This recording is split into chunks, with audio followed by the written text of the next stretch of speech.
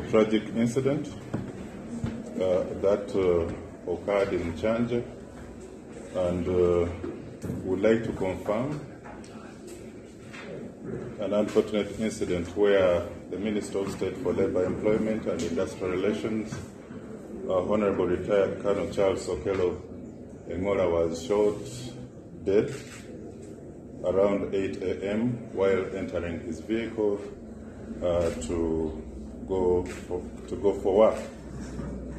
And uh, uh, the shooting was done by one of uh, uh, his bodyguards at his residence in Kyanja, uh, who allegedly fired several shots at close range, and he fled from the scene up to the trading center at Kyanja Ring Road, uh, where he entered the saloon and also shot himself dead. Uh, the Deputy Inspector General of Police, together with the Director CID, uh, have uh, uh, responded to this incident. Uh, the investigation is currently in the early stages of review.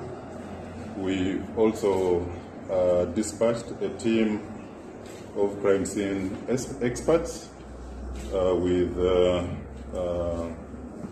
who are using the most advanced forensic uh, uh, technology to uh, get what exactly was the cause of this tragic murder. We don't want to speculate into what could be the motivation of this murder, uh, but uh, we just want to confirm this at this stage uh, that uh, the Honorable Minister died at the scene. Uh, we are also trying to establish if there are any other bodyguards uh, who could have been injured.